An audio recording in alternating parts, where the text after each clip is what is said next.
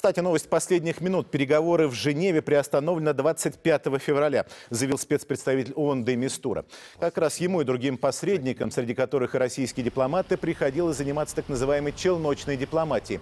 Общаться по очереди со сторонниками и противниками президента Асада.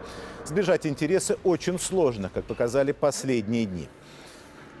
Ну и возвращаясь к действиям нашей авиации в Сирии, сегодня есть возможность показать, как российских летчиков на задание прикрывают с земли и с моря. Все уровни защиты, естественно, в пределах военной тайны на месте увидел Александр Батухов.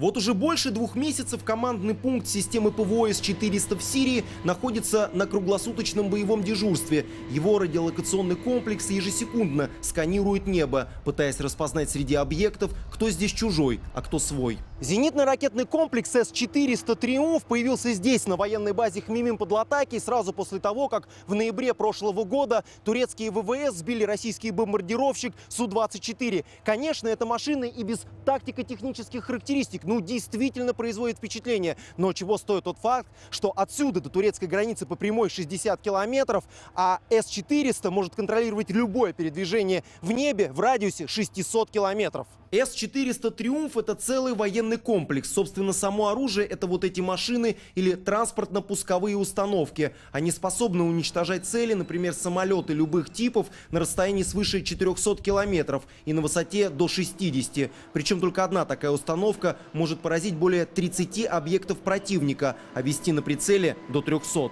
Так что на дальних подступах к базе именно С-400 держит все под контролем. И в случае появления угрозы, объясняют военные, либо этому аэродрому, либо самолетам, которые отсюда уходят на задание, объекты противника будут уничтожены за считанные секунды. Защита базы Хмимим организована таким образом, чтобы, как говорится, муха не пролетела, для чего уже на ближних подступах к аэродрому работают вот эти машины. Зенитный ракетно-пушечный комплекс «Панцирь-С». Он уже отслеживает цели поменьше и поближе, такие как беспилотник или реактивный снаряд в радиусе свыше 20 километров. Только один этот комплекс может одновременно вести 24 цели, и 4 из них уничтожить. И таких машин на базе несколько. Некоторые технические характеристики этого комплекса «Панцирь-С» уникальны. Но, во-первых, только эта машина способна в движении обнаруживать и уничтожать цели. А во-вторых, у «Панцирь-С», в отличие от зарубежных аналогов, совмещенное вооружение, пушечное и ракетное, что дает возможность поражать практически любые цели в воздухе. Но не только на земле обеспечивается защита военной базы Хмимим. Ее прикрывают и с моря. Системы ПВО крейсера «Варяг» также сканируют воздушное пространство Сирии, а находящиеся в его подчинении противолодочные корабли еще и приграничную морскую зону. И за время несения службы радары всех этих систем не раз распознавали среди обнаруженных объектов так называемых «чужих», которые держали курс в сторону Сирии.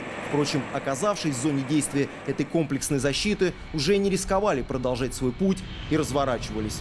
Александр Бутухов, Юрий Шолмов, Гурам Разилов и Ярослав Зорин. Первый канал. Сирия.